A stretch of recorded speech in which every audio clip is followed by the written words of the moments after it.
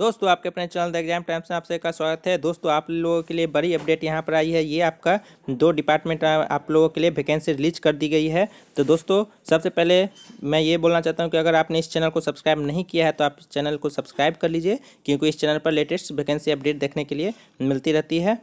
वो भी सबसे पहले आपको यहाँ पर देखने के लिए मिलेगा। और आप टेलीग्राम चैनल पर अगर नहीं जुड़े हैं तो जुड़ जाइए, क्योंकि यहाँ पर बहुत सारी वैकेंसी अपडेट मिलेगी। यहाँ पर आपको दो वैकेंसी है। ये आपका इंडियन आर्मी में है फ़र्स्ट वाला सेकेंड आपका इरीदा में है। तो चलिए हम इसमें फ़र्स्ट पहला देख लेते हैं इंडियन आर्मी में क्या बोला गया है। तो यहाँ पर देख सकते हैं कि ये भारतीय थल सेना का है। इसमें आपका जो ऑफिसर इंट्रीज है, इसमें क्या बोला गया है।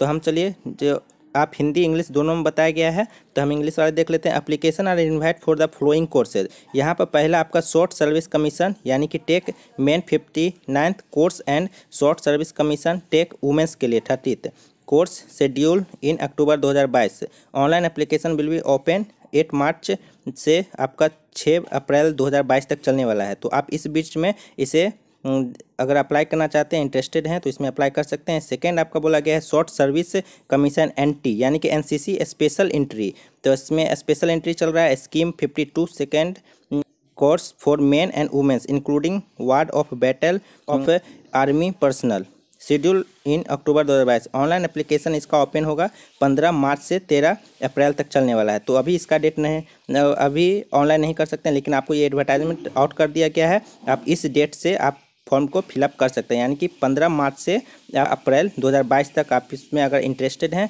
तो इसमें फॉर्म फिलअप कर सकते हैं। अब हम सेकेंड वैकेंसी को देख लेते हैं कि वो कौन सा है।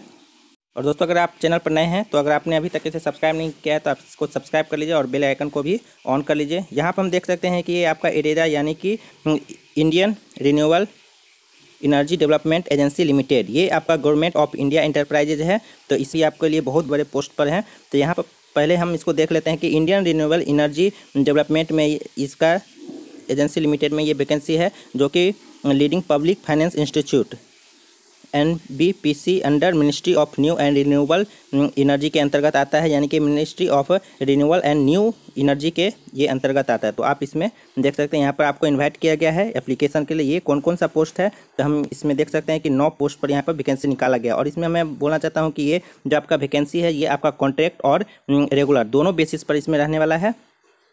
तो हम इसमें सिलसिलेवार ढंग से देख लेते हैं। यहाँ पर पहला जो वैकेंसी है वो आपका चीफ रिस्क ऑफिसर के पद पर रहने वाला है, जिसमें आपको लेवल एट और सेवन का आपको रहने वाला है सैलरी और इसमें ऑन कॉन्ट्रैक्ट बेसिस पर आपका ये वैकेंसी है। और इसमें आपका पे स्केल रहने वाला है बारह एक लाख बीस हज़ार से अट्ठा ये दो लाख अस्सी हज़ार या फिर आपका एक लाख से दो लाख अस्सी हज़ार रहेगा। इसमें आपका टोटल वैकेंसी एक है और इसमें आपको एजुकेशन क्वालिफिकेशन ग्रेजुएट मांगा गया है विथ पोस्ट ग्रेजुएट रहना चाहिए। आपका मिनिमम आपका एक्सपीरियंस जो मांगा गया है क्वालिफिकेशन वो ट्वेंटी फाइव ईयर्स का रहना चाहिए। पोस्ट क्वालिफिकेशन एक्सपीरियंस ये और मैक्सिमम एज आपका पैंतीस साल से ज़्यादा नहीं होना चाहिए। ये आपका ईयर जो काउंट किया जाएगा वो इक्कीस बारह दो हज़ार इक्कीस तक, इकतीस बारह दो हज़ार इक्कीस तक काउंट किया जाएगा।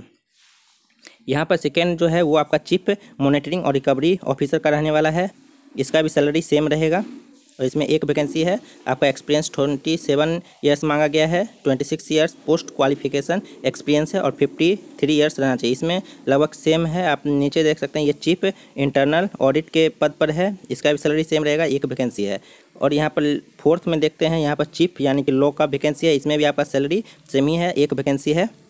यहाँ पर ड्यूटी जनरल मैनेजर के पद पर देखते हैं या फिर चीफ मैनेजर ये जिसको रिस्क मैनेजमेंट के लिए रहने वाला है और ये रेगुलर बेसिस पर है। तो ये आप देख सकते हैं कि आप लोगों के लिए बहुत अच्छी बात है कि ये रेगुलर बेसिस पर रहेगा। अगर आप इसमें इंटरेस्टेड हैं तो आप इसमें अप्लाई कर सकते हैं। इसका सैलरी आपका नब्बे हज़ार से दो लाख चालीस हज़ार रहेगा या फिर आपका अस्सी हज़ार से दो लाख बीस हज़ार रहेगा। इसमें एक वैकेंसी है। इसमें आपका पोस्ट क्वालिफिकेशन एंड एक्सपीरियंस पंद्रह साल मांगा गया है और आपका पचास साल से ज़्यादा नहीं रहना चाहिए एज और यहाँ पर सिक्स नंबर आपके डिप्टी जनरल मैनेजर के लिए वैकेंसी है और चीफ मैनेजर मोनिटरिंग रिकवरी के लिए है।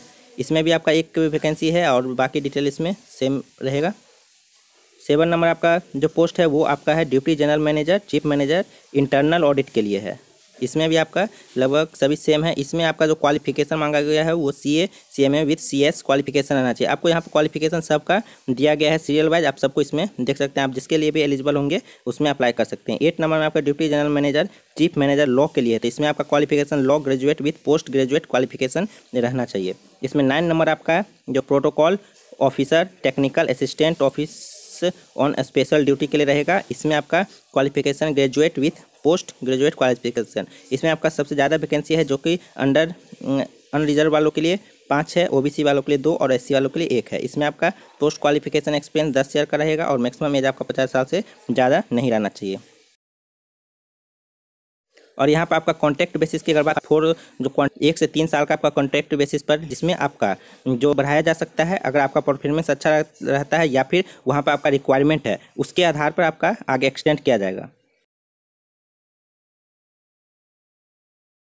आपको इसका और भी डिटेल अगर देखना है तो आप इसके ऑफिशियल वेबसाइट एरिडा के ऑफिशियल वेबसाइट पर जाइए H T P W dot IREDA dot in यहाँ पर जाकर आप इसे देख सकते हैं एडवर्टाइजमेंट को। आपको इसे एडवर्टाइजमेंट टेलीग्राम चैनल पर भेज दिया गया आप वहाँ से भी डाउनलोड कर सकते हैं। यहाँ पर आपका ऑनलाइन एप्लीकेशन पाँच मार्च 2022 से 26 मार्च 2022 तक आप कर सकते हैं। तो अगर आप इंटरेस्टेड हैं तो आज इससे फॉर्म फिलअप कर सकते हैं आपको, लेकिन फॉर्म फिलअप करने से पहले आपको डिटेल एडवर्टाइजमेंट को अच्छे से रीड करना है, आपके अपने क्वालिफिकेशन से मैच करना है।